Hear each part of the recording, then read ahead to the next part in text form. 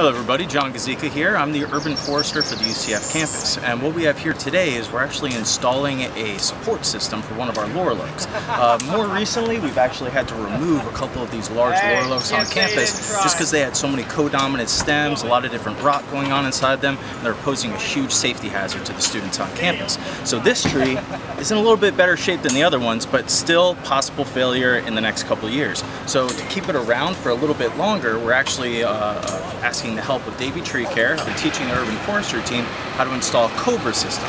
And what a Cobra system is, is really a bracing system or a support system for trees to hold the main branches together.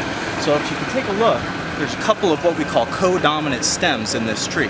They're main trunks in the tree that extend up from the uh, uh, main trunk uh, they'll split up in the air and then some of those trunks can actually incur damage at the base of them, different abrasions, and then that can actually start to rot and then the tree can start to fall apart.